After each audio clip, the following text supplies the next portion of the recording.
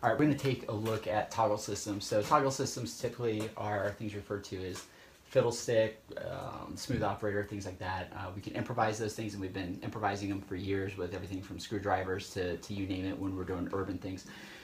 So taking a look at this, whether we're doing urban or we're doing mountain, canyon, things like that, we're gonna have it going right through this rig plate here, realizing that this can be anything from a tree to uh, a balcony, uh, railing to, to you name it. Uh, we can wrap that large trees, small trees, uh, large rocks, things like that. So when we look at it, we're gonna kind of dig into the minutiae. I know Dominic's done quite a few on the double route where we can have two lines coming down, uh, which means you'll need double the rope that you have for, for your rappel. We're going to just do a single route because all the principles of the single are going to be true for the double also. So when we come around here, uh, we'll see that depending on how much you want that tail in, um, is going to change as far as as far as what you're what you're needing to do or how offset your anchor is going to be and we'll talk about that here in a second first thing we want to talk about is the configuration which we tie that knot so it's a stone knot that's an upward stone knot compared to a downward stone knot so we're always going to be tying that towards our anchor when we do that. And we'll kind of show you why and what happens when you don't do it. we'll also talk about the twist. So we'll talk about the twist first. So when we're looking at this, I've got the tail in here. We want to remember our configuration and that's what's going to help us keep this clean. And so on this one, my configuration is it's kind of laying on top. If I turn it to the side, my tail's on the left-hand side. So when we look at that, we reach from the back, bring it over, and then we bring it up towards our anchor. So what you'll see is a twist that's in here, and this is going to kill all the OCD knot tiers in here because they're going to want to naturally try and make that knot clean and take the twists out. The key to this is that you don't. You leave it with the twist and you leave that twist inside that knot. And we'll kind of show you show you why. So as we're coming up here, you can see that twist right now that's coming in. So it's right in front of us in this area right here. And we want to keep that twist in there. And you'll see that my configuration is this is still on my left. And that's important because when I put my device in here in my toggle, as soon as I pull this, so we have that thing tightened, we have our safeties in, we all do a rappel, last guy down comes down, we unweight this, this gets pulled down. As this falls out, nice and clean just like this, so it pulls right over. If we try and take care of that twist while we're tying this and make it nice and clean, what'll happen is here's my twist here, but let's say I just let this wrap around and so now it looks nice and clean inside and I feel, feel good about myself because I kept my knot clean. What'll happen is we weight this down, we hit this, and when we pull this out, you'll see the configuration that this has twists in it. So when it goes like this and we start pulling it and it's got one or two twists in it, depending on our thing, this will create more friction than what we want, especially the longer up we go. So we want that twist to remain inside that knot. So just kill every inkling you have to take, take that out. The other reason we want to show you is when we tie this and we're working our way up towards the anchor, this produces an upward stone knot. So the key to this and why we do that is we can check to make sure we tied it correctly because the bite that comes off that anchor is going to be sitting really flat across here. So we know we tied it tied it correctly in that, that form. So when it releases, this just falls apart. If we tied it the opposite direction, and this is a little difficult to do in this configuration, but I'll tie it going down here. Because when we do that, you'll see the change right off the bat is we have a large bulky bite that comes out the bottom here. So with that, let me try and get this here. This is what we have. So we can see that as that comes out, it's this big loop, not flat whatsoever. The downside to that is when we pull this out, and this gets it all tightened up, when we go, we may get a pop out of this and then it's biting on itself. Uh, so it creates almost like a, a, a munter mule. So if that continues up to your anchor, now you got huge deals and you're not able to pull that out. So it creates that bite, almost like those that do munter mules, you have to pop that out. And that doesn't give us opportunity. So just remember, that's why we do the upward, because when we come in here, that is gonna sit nice and flat for us. There's our twist, so we know our twist is inside there, so we know it's going to break nice and clean when we pull it. We get that down. This is going to be nice and flat. When we talk about securing it, you'll look on some that allow you to secure it this way with carabiners in here. Um, we've done that before. A lot of times what happens is once we weight that thing uh, and it gets stretched out a little bit, last person down has to take these out. Sometimes it gets a little problematic with doing it, pulling rope up a little bit, maneuvering this around. Sometimes we've got to loosen this up a little bit to even get that out. So to avoid that on the GAT, we got an arrow here, so the arrow actually keeps this safe from going through. So you don't need a carabiner on this side at all. Uh, you will need one over here as everyone's going down. So the options on there, you got quite a few deals on how you can rig that if you want to. So how we typically do it is we go around the back. We're dealing with just a 7.5 and we'll kind of show you the differences depending on the diameter of rope that you're using.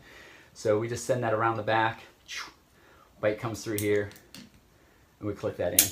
I'm pretty good with this when we've done it because we've done it quite a bit. So I know that if a rock's hitting this and people are changing their fall lines each time, that this is going to block in and block that there so not even the tip is coming in close.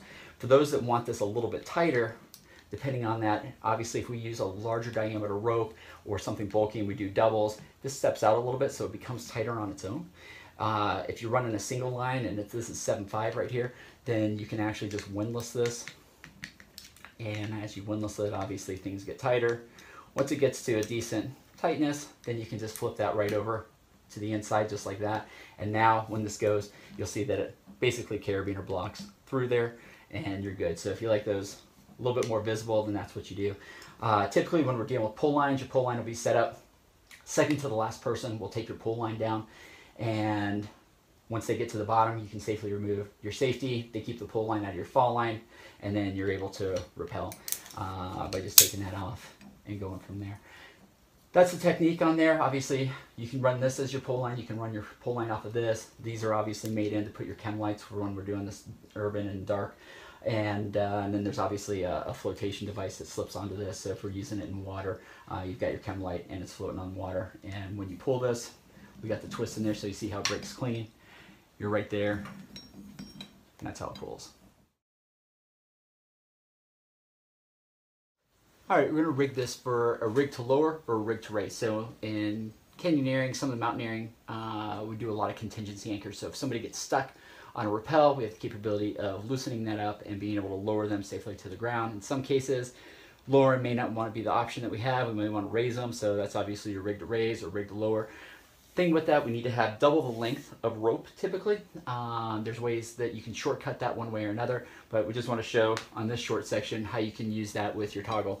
So as we come around here in the tree, normally this is where we come in and put in our toggle. Before we do that, I want to put it into the rope knot. So whatever you guys feel like doing, uh, I don't really use eights a whole bunch, but we'll, we'll rip an eight out for this one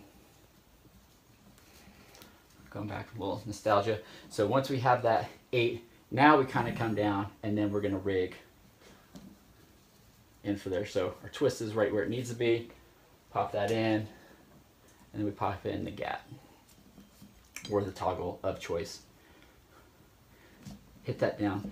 Now, because we're doing that, we're probably going to have a safety on here. So, right, because we're sending other members of our group down. This isn't for last person. Last person at risk is going to DC, disconnect everything before they come down and do it that way. So for our purposes, we'll just have this as if we're sending everybody down. I'm to go ahead and windlass this up so it's nice and tight. Pretty much keeping our carabiner out of our way. And we got that going. This now is going to be the strand that we can rig off of. So when we're looking at that, obviously we could rig this shorter without a problem, uh, but just for the video, because we have double that rope, we're going to make sure on a contingency anchor, right, we have just enough rope that gets everybody down to the ground. So the rope's just going to be touching the bottom. So we're going to have all this extra slack up here that, that will remain in the bag. And after we measure that, so we have this length that's going off this way that's down on the rappel, we can use a descent device. There's a hundred different ways to, to do your contingency.